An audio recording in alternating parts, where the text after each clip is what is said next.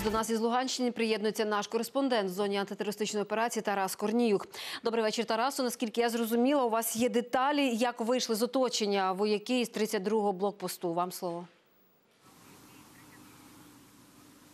Доброго вечора, Олена. Справа в тому, що селище Сміле поблизу Луганська могло стати напередодні другим Іловайськом в неоголошеній війні на сході України. Справа в тому, що 32-й блокпост від 31-го по Луганській трасі було відрізано ще кілька тижнів тому блокпостами терористів. Навколо поля були заміновані. Таким чином, наші бійці Нацгвардії та десантники 80-ї бригади ВДВ були відрізані і опинилися в оточенні. В них бракувало весь час їжі, води, боєприпасів. Однак вони тримали оборону. Напередодні ввечері Терористи поставили українським військовим ультиматум залишити позицію. Він в разі в іншому разі буде штурм набагато чисельніших е, терористів, які переважають за чисельністю наших позицій.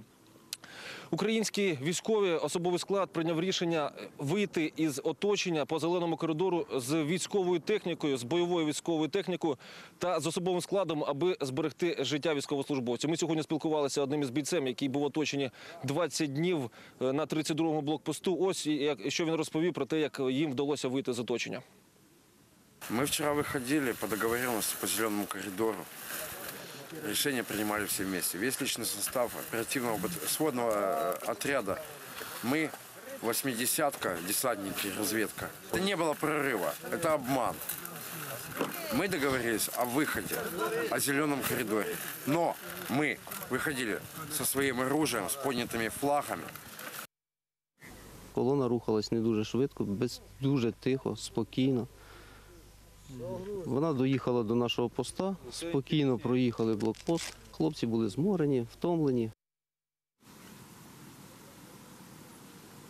Українські бійці Нацгвардії та десантники тримали оборону 32-го блокпоста в надзвичайно критичних умовах. Постійно бракувало води, їжі, не говорячи вже про боєприпаси. Доводилося пити, збирати дощову воду. Останні шість продовольчих конвоїв до 32-го блокпоста так і не доїхали. Терористи не дали змогу діставити їжу, воду на ці блокпости. Тому нести службу далі було надзвичайно важко.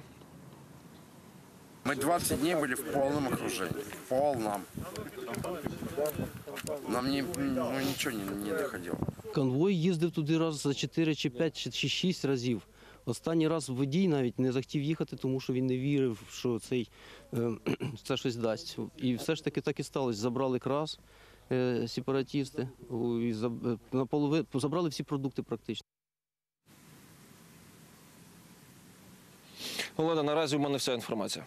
Я вам дякую, Тарасе, за таку детальну розповідь. Це був Тарас Корніюк із Луганщини із зони антитерористичної операції.